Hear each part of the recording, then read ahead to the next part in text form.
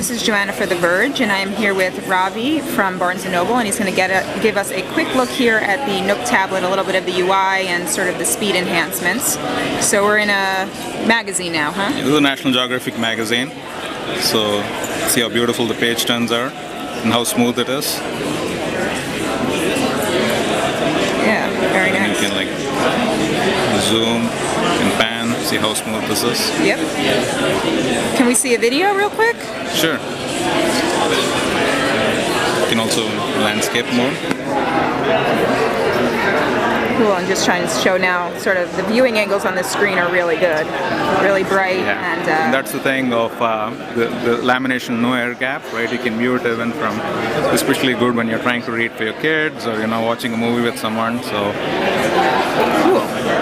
These are the different pages. And so how do you get back to the home screen? You press the Nook button? Yep. There's the Nook button, back to the home screen. And so have you guys done anything different here with the home screen? A few different panes now, or? You have all these little widgets here. I mean, with one click you can go to books or newsstand, whatever you're reading, and discover new content. And then is this like if you go here, will you, can you customize these pages? Yeah, you can customize. You can go, you know, drag and drop anything right there. Ah, very cool. Ah, so I just saw the Netflix app. Do you mind opening that real quick? Just see it real quick. Yeah, you just, uh, you were seeing the Toy Story. You want me to open it again? Yep. So this Okay. is uh, this is what I was watching last, and then uh, I know the Wi-Fi is a little bit flaky in here, but it was working loaded up. before, Yeah, so. so there it here we go. All right. So this is uh, just this standard is Toy? Story 3. This is uh, streaming at uh, HD, 720p Very HD.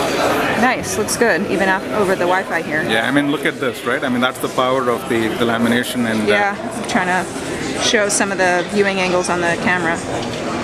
Very cool. And then do you mind just jumping back uh, again to the apps? Just trying to give them a little bit of a tour here in the short time we have. So you can. Uh, this is this is another video. So this is the native player. Yeah. And so is this 1080p? I know you guys were touting 1080p playback. I think this particular video. I can show you 1080p. Yeah, that would be great. Good. This looks really nice.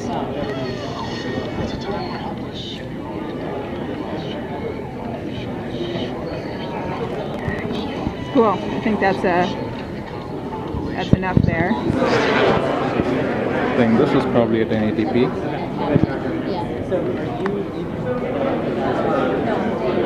Nice. Is this the whole movie or the? Yeah, this looks like the whole movie. There's a clip. Yep. Very cool. And just like jump back to the uh, main home screen again and just sort of navigate there. And if you wouldn't mind also opening the browser. So, so this is our new shop, right? And there's all the departments you can, with one click, Okay. browse for books, magazines, and these are all your bestsellers. Since you're on a store, you have the read in store, more in store. You know, you can get all the kids' content with one click. And then you can choose, you know, interactive kids' books, read to me, bestsellers. Very cool. So these are all the, some of the new UI enhancements we've kind of made. Yeah, it looks pretty snappy. And so the apps, yeah. the apps are in the other area. Yeah, I mean, these are all the apps. So, you know, the merchandising and discovery apps is a lot more easier and faster. I mean, even though the Wi-Fi is slow, Right, see how quickly it loads, right? So, You got Angry Birds there. yep. Nice. And so lastly, can we just see the browser real quick? So you can go to what's your favorite site? Where are The you Verge. TheVerge.com. from? The Verge. The Verge. T H.